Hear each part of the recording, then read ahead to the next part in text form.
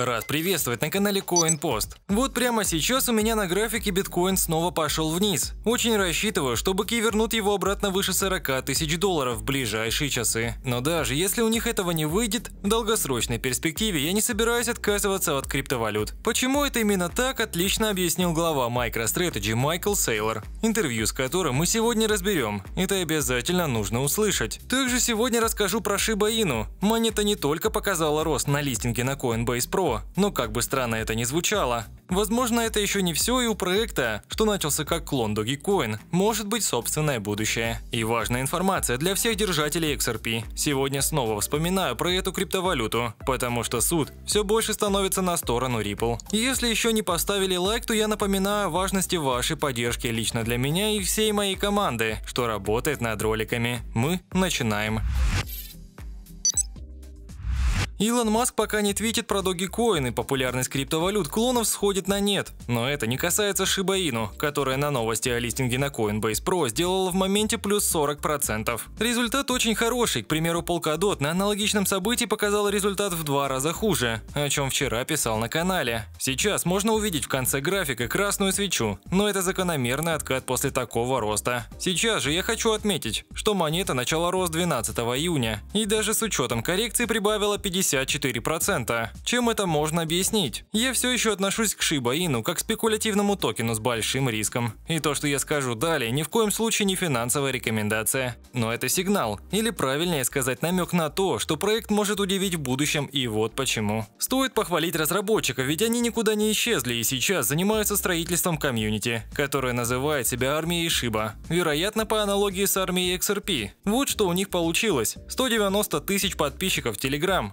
626 тысяч последователей в Twitter. И это не один аккаунт из тех, что являются по сути двигателями этой криптовалюты. Также есть 174 тысячи участников на Reddit. И добрались они даже до Discord, где уже собрали 60 тысяч пользователей. Это хорошие цифры, которые показывают активную работу по развитию сообщества. Но самое интересное, что идея собственной децентрализованной биржи Shiba Swap продолжает развиваться. Они показали, как будет выглядеть биржа после запуска. Смотрите, на самом деле после После вот этого пампа в начале мая, во время добавления торгов на Binance, разработчики вполне могли уйти в закат полностью довольные заработанными деньгами. Собственно, для этого и создают криптовалюты-клоны, но конкретно эти парни начали строить сообщество и собственный продукт. Сложно сказать, что из этого выйдет в будущем. На рынке тех же DEX бирж сейчас высокая конкуренция, но то, что они двигаются, заслуживает похвалы и является важным фактором, в том числе для будущей цены. Напишите в комментариях, знали ли вы о том, что сейчас происходит с Shiba Inu.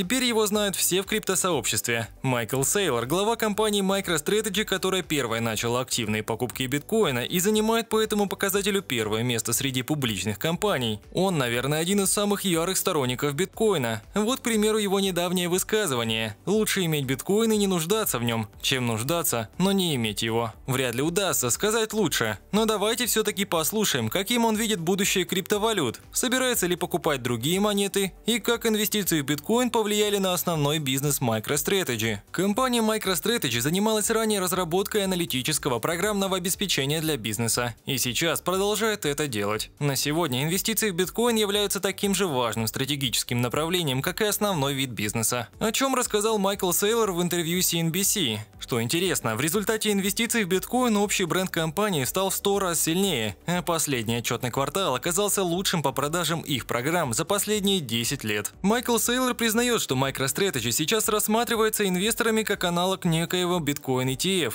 и считает это вполне нормальным. MicroStrategy стала первой компанией, которая привлекла инвестиции под покупку биткоина, и сейчас они будут использовать полученные преимущества. Так они могут переводить заработанные средства в инвестиции в криптовалюты и по необходимости привлекать еще больше заемных средств. Кстати, интересный факт. ФРС США уже купила частичку биткоина, хоть и маленькую. Ведь они являются держателями облигаций MicroStrategy. Об этом писал в Telegram. Там еще больше важной информации. Ссылка на канал сразу под видео. И специально для наших подписчиков Telegram сегодня будем разбирать рост монеты AMP, что сделала за неделю почти 100%. Присоединяйтесь к нашему Telegram, если еще этого не сделали. Возвращаясь к Майклу Сейлору. В его понимании, биткоин это самая крупная и доминирующая сеть цифровой собственности общественности. Думайте об этом как о гигантских кварталах в киберпространственном Манхэттене. Затем у вас есть цифровая валюта, как тезеры и стейблкоины. Они будут подобны национальным криптовалютам. Также вы имеете цифровые приложения, такие как эфириум. По его мнению, различным криптовалютам есть место на рынке, то есть он не убежденный до мозга костей биткоин-максималист. Он верит в альткоины и считает, что со временем эфириум и похожие проекты смогут оставить без работы JP Morgan и другие банки, а также традиционные биржи. Правда, при таких взглядах пока MicroStrategy не собирается инвестировать в другие криптовалюты, кроме биткоина. Прав он или нет в этом плане? Может, пора бы уже и закупиться альткоинами. И как вам вообще заявление Майкла Сейлора? Напишите в комментариях. А я перехожу к последним новостям по XRP.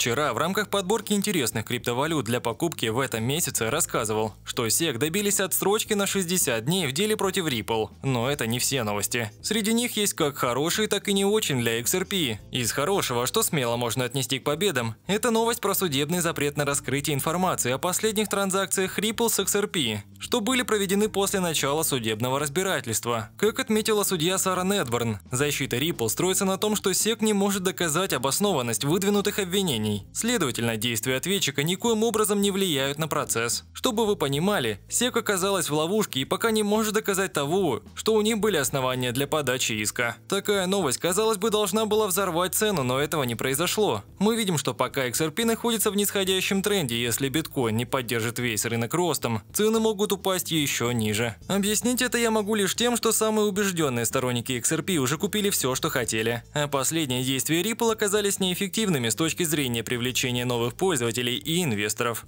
Компании уже проговорили, что чем дольше тянется суд, тем хуже для их бизнеса на территории США. Дополнительно Ripple получили разрешение запросить данные с 16 криптовалютных бирж вне юрисдикции США, чтобы показать, что они не могли нарушить американских законов, ведь действовали там, где они не применяются. Но взамен у SEC появилось право взять показания у бывших сотрудников компании, при этом часть из них останется закрытыми для общественности, чтобы не повредить бизнесу Ripple. Мы все еще остаемся в подвешенном состоянии по текущему циклу роста. Но как вы могли понять, с долгосрочной перспективой у биткоина и у других криптовалют все в полном порядке. Это игра в долгу и лучше идти по этой дороге вместе. Присоединяйтесь к нашему сообществу на YouTube и напоминаю, что вечером будем разбирать новую растущую криптовалюту. Ссылка сразу под видео. А на этом сегодня все. Спасибо за просмотр. Канал CoinPost. Подписывайся и будь в плюсе.